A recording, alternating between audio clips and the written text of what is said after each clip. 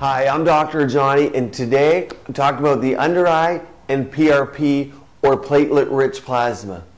Think about it when we get a cut on our skin, how the body heals itself. Absolutely amazing.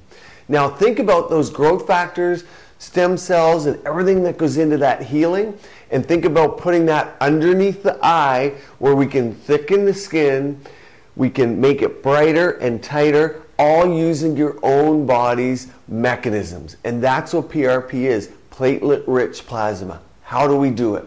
We take your blood, we spin it down, and we get the layer where most of those growth factors and stem cells are, and then we inject it back into your body.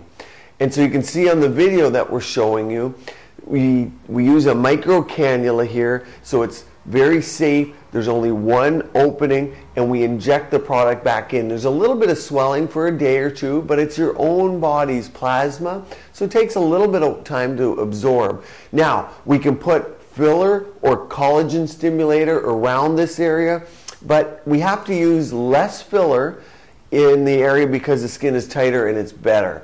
If you still want filler after, or you want to do it at the same time, or you want to start with filler, that's absolutely fine. But you now have a choice. And of course, combining procedures gives the best, most natural results. So, what do we recommend? I typically look at the patients. If they need a little bit of filler, we put the filler in, then we do the PRP on top of that.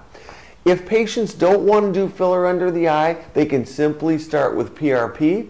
We can wait a few months and then add the filler portion. So people do it differently. It's all about the consult, having a look at the eye, seeing what's aging it. Is it vessels and veins? Is it thinning in the skin? Is it dark circles? Is it pigment? There's many things.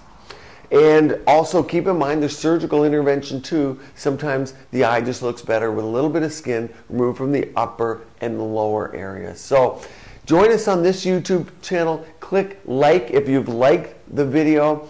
Go to rajanimd.com if you'd like to see further before and after pictures. And join us on this Facebook page for continued helpful tips. Keep your skin and body beautiful, healthy, and vibrant.